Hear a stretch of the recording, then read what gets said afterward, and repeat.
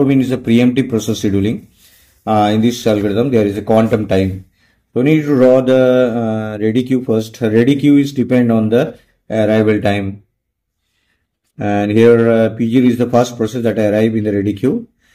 So uh, P0 will be selected for execution and add shut. P0 is selected for execution and P0 is uh, executed up to 3 nanosecond. Quantum time is 3. Now remaining time is 5.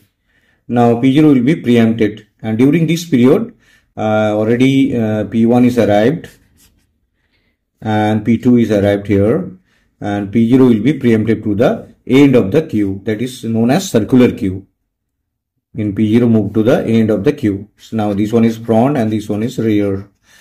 Now next one is uh, P1 is selected for execution. P1 is given 3 nanosecond and it's completed tasks. P1 will be terminated and during this period uh, P3 also arrived. P2, P0 and P3.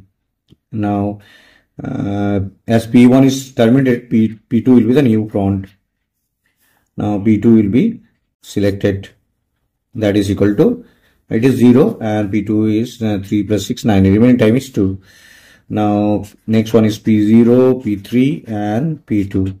P2 will move to the end of the queue. Now front.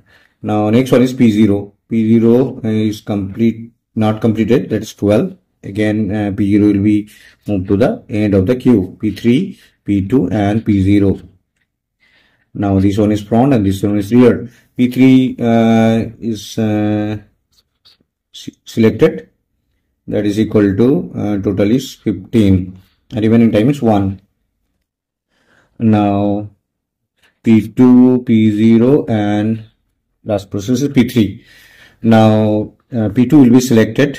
Remaining time is 2 p2 is 17 p2 terminated.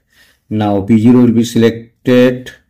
P0 remaining time is, time is 2 that is 19 and finally uh, p3 will be selected that is equal to 120 and it is completed. And now we need to calculate completion time. P completion time p0 is 19 uh, p completion time of p1 is uh, 6 completion time p2 is 17 completion of P3 is 20. Uh, now the next one is turnaround time. Completion time minus arrival time 19. This 4 that is equal to 13 and this is 16 and waiting time equal to and uh, turnaround time and burst time that's 11 this is equal to 1 this is equal to 8 and this is 12. So these are the